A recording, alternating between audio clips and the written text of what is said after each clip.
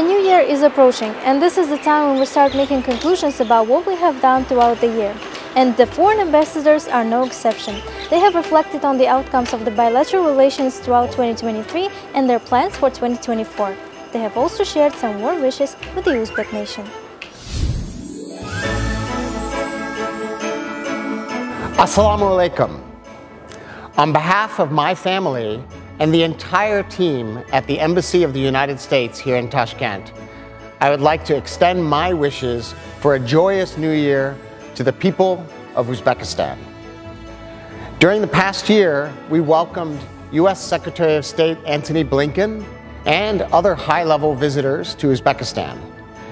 And we brought together our presidents in the C5 plus one format in New York for the very first time.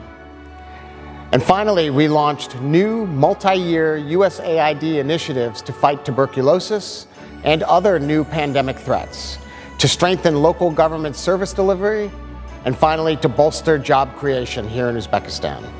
These are only a few of the highlights that made 2023 a truly special year for the U.S.-Uzbekistan relationship.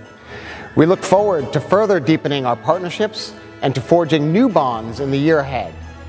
So from all of us at the U.S. Embassy here in Tashkent, we wish you a happy new year filled with hope, optimism, and the promise of brighter tomorrows. Yangi Yilingis Mubarak Bolson.